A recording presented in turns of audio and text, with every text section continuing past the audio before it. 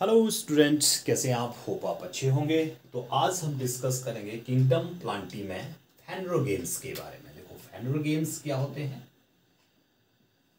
फैनरो games फैनरो games जो होते हैं फैनरो गेम्स जो होते हैं, ये वो प्लांट होते हैं जो रिप्रोडक्टर ऑर्गन जिनमें होता है रिप्रोडक्टिव ऑर्गन जिसमें होते हैं। जैसे आपने क्रिप्टो गेम्स पढ़ा था ना कि जिसमें वेल डिफाइंड रिप्रोडक्टिव ऑर्गन जो वो नहीं होते हैं।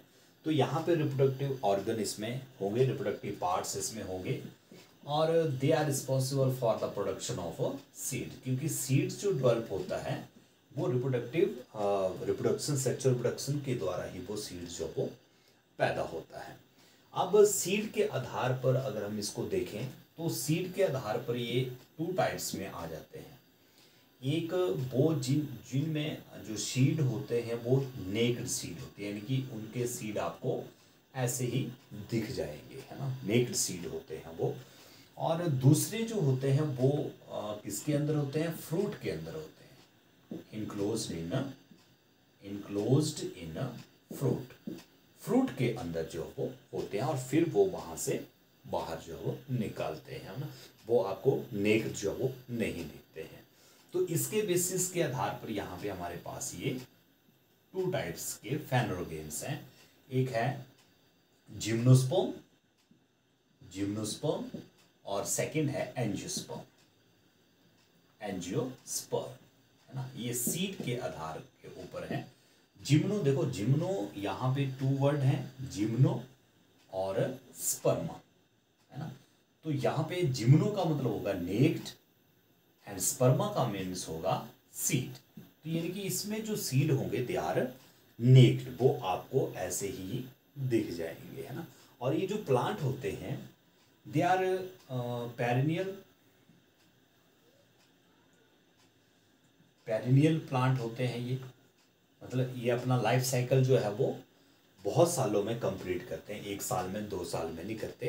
दो सालों से अधिक सालों में जो है ये अपना लाइफ स्पेल जो है वो कंप्लीट करते हैं। पेरियल्स होते हैं ये। और एवरग्रीन होते हैं।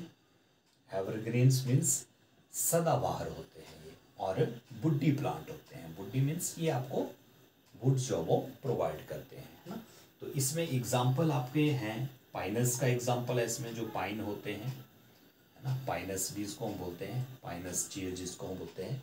और इसमें साइकस का भी एक एग्जांपल है, साइकस होता है और देवदार भी होता है इसमें। है ना? ये आपके जिम्नोस्पर्म होते हैं। जैसे आप चील का वो देखते हैं ना, वो जो इसका कोन होता है, उसमें आपको सीड्स जो है, वो उसके बिल्कुल बाहर को आपको आसानी से दिख जाते हैं।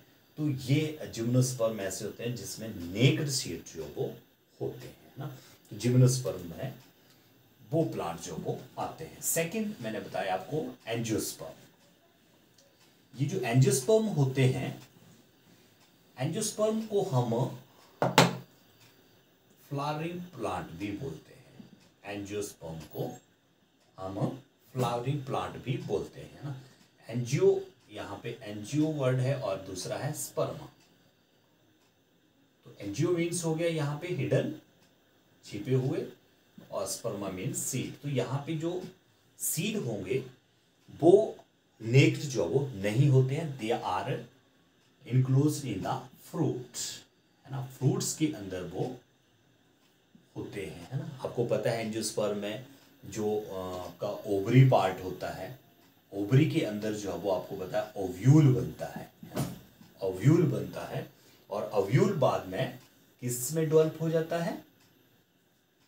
सीड में डेवलप जो वो हो जाता है और जो ओवरी होती है, वो फिर जब राइपंड हो जाती है, पक जाती है तो वो फ्रूट की फॉर्मेशन जो वो कर देता है। तो ये एंजियोस्पर्म में होता है जो फ्लावरिंग प्लांट जो वो होते हैं। और जो एम्ब्रियो होता है प्लांट का जो एम्ब्रियो होता है, इन सीड में सीड के अंदर जो एम्ब्रियो होता है तो उसमें कोटिलिडन्स होते हैं, लीफ लाइक स्ट्रक्चर होते हैं, जिनको होते हैं कोटिलिडन्स। कोटिलिडन्स होते हैं, लीफ, लीव्स होते हैं इसके वो, जो प्लांट के अंदर जो उसका एम्ब्र सीड के अंदर जो उसका एम्ब्रियो होता है प्लांट का प्लांट एम्ब्रियो जो होता है। तो उसके अंदर ये कोटिलीडन्स होते हैं, लीफ लाइक स्ट्रक्चर जो है इसमें होते हैं। और जब सीड जर्मिनेट करता है जब सीड जो है वो जर्मिनेट करेगा तो ये कोटिलीडन्स जो है वो डेवलप होते हैं। ये लीव्स जो है वो डेवलप होते हैं। अब ये कोटिलिडन्स के बेसिस के ऊपर भी ये जो एंजियोस्पर्म है they are differentiated into two parts इनको कोटिलिडन्स के बेसिस के ऊपर भी टू पार्ट्स में जो वो बांटा गया है। कौन कौन से वो पार्ट है? देखो कोटिलिडन्स में, देखो, अगर तो इसमें एक ही कोटिलिडन्स निकलता है, एक ही लीव्स अगर निकलता है, जब सीड जर्मिनेट करता है तो उसको हम बोलते हैं मोनोकोटिलिडन्स या मोनोकोट मोनोकोट मोनोकोट प्लांट उसको हम बोलते हैं। जब एक ही कोटिलिडन्स जैसे इस तरह से अगर कोई सीड है ना, इस तरह से मानो कोई सीड है और यहाँ से जब ये जर्मिनेट करता है तो यहाँ से क्या होगा? सिर्फ़ एक ही लीफ जो है यहाँ से अराइज होता है। एक ही कोटिलेडन्स जो है यहाँ से अराइज होगा और ये ही फिर बाद में इतना बड़ा जो है वो बन जाएगा ना। एक ही कोटिलेडन्स यहाँ पे डेवलप अगर होता है। तो उसको हम मोनोकोटिलेडन्स जो वो बोलते हैं।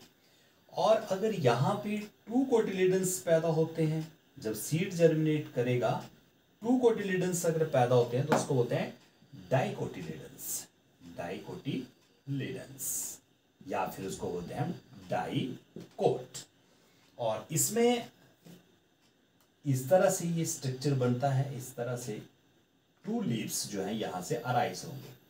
ना, एक यहाँ से अराइज हो जाएगा इस तरह से, और दूसरा जो हो, यहाँ से अराइज हो जाएगा। तो जब भी ये सीड जर्मिनेट करेगा, बड़ा एक प्लांट बनाएगा। तो यहाँ से ये दोनों जो लीव्स हैं वो डेवलप होते हैं। दो कोटिलेटन्स जो है यहाँ पे डेवलप होते हैं। इसलिए इनको हम क्या बोलते हैं? डाइकोटिलेटन्स जो वो बोलते हैं ना? तो मोनोकोट का अगर हम एग्ज़ाम्पल देखें मोनोकोट में देखो कौन कौन से एग्ज़ाम्पल हैं आपके। कॉर्न है एक तो और राइस है, उसके बाद वीट है सुगर केन है, बनाना है। ये कुछ एग्ज़ाम्पल जो वो मोनोकोट के हैं। और डाइकोट में आते हैं आपके, जैसे एप्पल है। एप्पल के बाद आपका आ जाता है, मैंगो भी है। मैंगो भी इसमें डाइकोटिलिडन्स में आ जाता है। जब ये डेवलप होता है तो टू लीव्स जो है वो यहाँ से निकलते हैं। एप्पल है, मैंगो है, और ऑरेंज भी है इसमें। ऑरेंज भी इसका एग्जांपल है और ऑरेंज के अलावा आपका कैश्यू काजू जिसको हम बोलते हैं कैश्यू कैश्यू नट ये भी इसका जो है वो एग्ज़ाम्पल है डाइकोटिलिडन्स का, ठीक है? तो ये था फैनरोगेमस के बारे में जैसे एंजियोस्पर्म है और जिम्नोस्पर्म है और फिर मोनोकोटिलिडन्स और डाइकोटिलिडन्स है। तो आज के लिए बस इतना ही। Thank you